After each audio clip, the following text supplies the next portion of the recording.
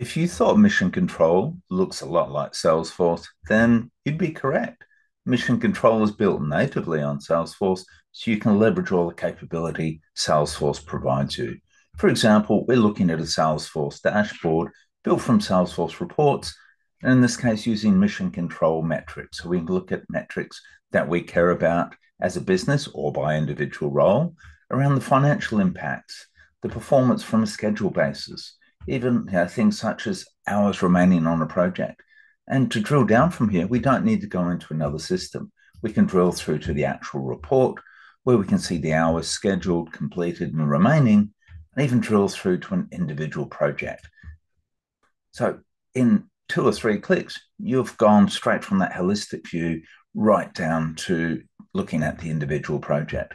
And the way you view the project can be different by role. You can have it tailored, especially specially configured for your business, and uh, depending on what you want to see. I've chosen to land in the project insights, where I can see my cost performance has gone red and my schedule performance is still green.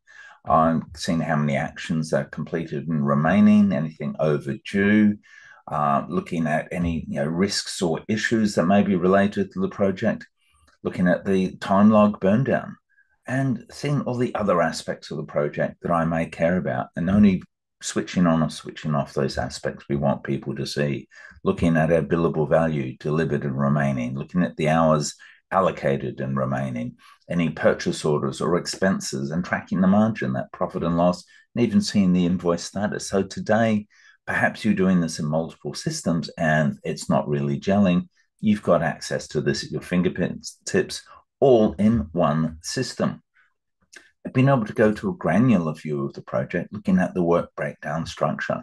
So I've been able to go to an individual phase and go to individual milestones and look at the actions where we're assigning those pieces of work and having the estimate versus actuals rolling up both to the milestone, the phase, and to the project level. Again, you know, having that real time access. And perhaps you'd like to see all the actions and the status and where they're up to. So you can flip between views, not having to go in and out of systems, which is extremely powerful. There's also a Kanban view, both standalone and also uh, from a project view. So we can see what's actually happening. We can see who's allocated.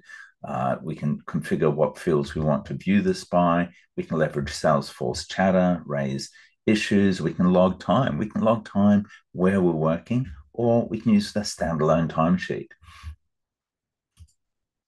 And a Gantt chart view, both within the individual project and also standalone. So being able to say, see very quickly what's happening with a project, where it is on a progress perspective, even showing non-working days for the individual roles, allocating either individual or multiple people working on actions and showing the critical path and you know, where things are up to with a project.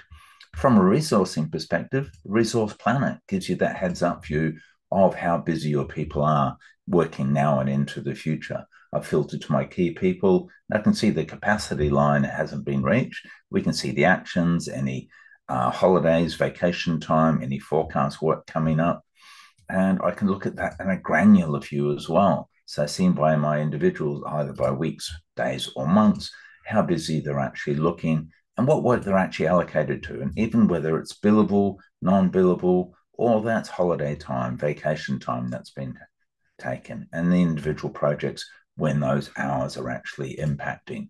If I need to start reallocating people, the scheduler gives me that ability for example, I could see Alana's busy. Maybe she's called and said she's not going to be available today. She's going to take the whole rest of the week off. I can reallocate that. There's a number of ways I can do that. And yeah, we talked about Gantt chart anywhere and being able to see exactly the same information as we do from the individual project and even linking between projects. So having those dependencies as required. So being able to not just have dependencies within a project, but also between projects. And if we're in time, we like the standalone timesheet, we can do that too. So we can see where people have had time uh, allocated and they've logged time, where they've got scheduled time coming up, whether they've got holiday time booked. We can see this annual leave that's actually been booked and approved, and then non working days like weekends. and the ability to actually log time to other projects. So everything in mission control gives you the information at your fingertips. You're not going in and out of various systems. So what today you're probably using two, three, or other tools to achieve, you can do in one place with mission control and Salesforce.